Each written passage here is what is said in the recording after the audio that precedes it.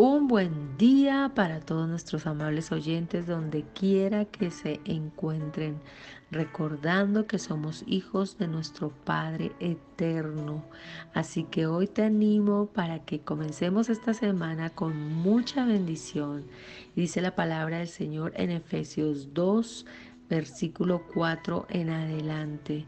Pero Dios que es rico en misericordia por su gran amor por nosotros, nos dio vida con Cristo aun cuando estábamos muertos en pecados. Por gracia hemos sido salvados y en unión con Cristo Jesús Dios nuestro Padre nos resucitó y nos hizo sentar con Él en las regiones celestiales Gloria al Señor para mostrar en los tiempos venideros la incomparable riqueza de su gracia que por su bondad derramó sobre nosotros en Cristo Jesús. Amén.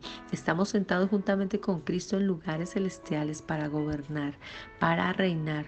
Recuerda que eres un hijo o una hija del Rey de Reyes y Señor de Señores y tienes toda la autoridad en Él. Así que levántate esta mañana, vamos a orar y a proclamar la gloria poderosa de nuestro Padre Celestial sobre nosotros. Y en esta hora oramos y proclamamos y nos levantamos como hijos de Dios Dios con toda la autoridad y el gobierno que nos ha dado, porque por su misericordia y por su gran amor nos llamó y nos hizo sentar con Jesucristo en lugares celestiales. Y ahora mismo tomamos toda autoridad y gobierno y quebrantamos todo principado y potestad de las tinieblas que se quiere oponer, que quiere destruir o dañar nuestro camino, nuestra familia, nuestra iglesia, ahora mismo o nuestra nación.